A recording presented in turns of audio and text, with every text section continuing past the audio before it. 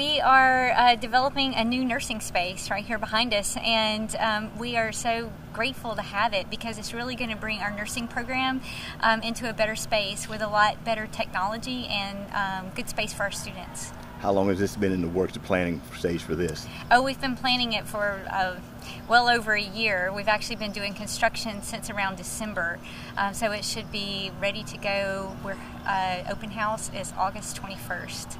What gave uh, what gave y'all the idea that you need to expand your nursing program, uh, nursing nursing space here on the campus? So nursing is really a profession that we need a lot more of in our um, in our area and in the United States in general. And so it just makes sense that we want our nursing program to grow. And so we uh, always want to provide our students with premier lab spaces here at LeTourneau and real hands-on education. And so this building is going to afford us the opportunity to really do that for our nursing students.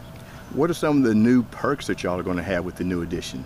Uh, one of the things that we're most excited about is our new simulation hospital.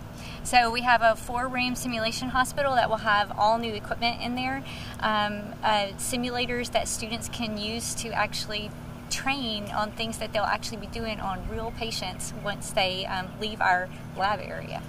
Um, last semester, we had students who would be coming into our program actually come and write scripture on the floor in the building, and they were so excited just to see that they were going to have the new space. And actually, some of our students who were graduating were like, "Oh, I wish we were going to have the space."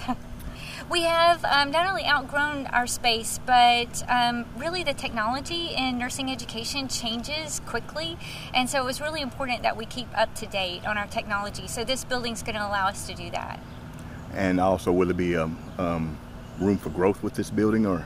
Absolutely. We probably can uh, about double our size um, with this new space, double the number of students that we accept. But We do have um, donors that have stepped up to help us um, with this, and the university has really resourced um, this project because we do know how important it is for our nursing program to grow. We've had a nursing program for about 10 years now, so we're kind of coming out of our infancy uh, and growing up, and so this building's just really a part of our university really showing the support for the nursing program here in our area. Anything I missed you'd like to add, ma'am? Um, well, we we want to make sure that you know students around the East Texas area know that LeTourneau is here and know that LeTourneau has a nursing program that is growing and that's available for them to um, to come to school here. Great, thank you.